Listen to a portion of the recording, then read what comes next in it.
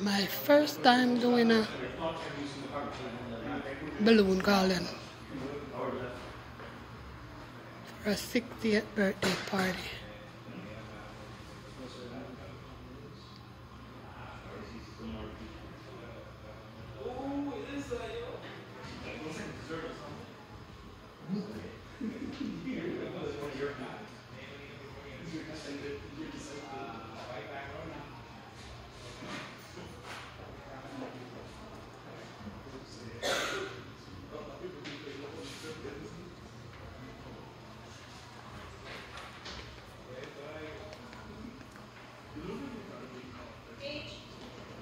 What's up?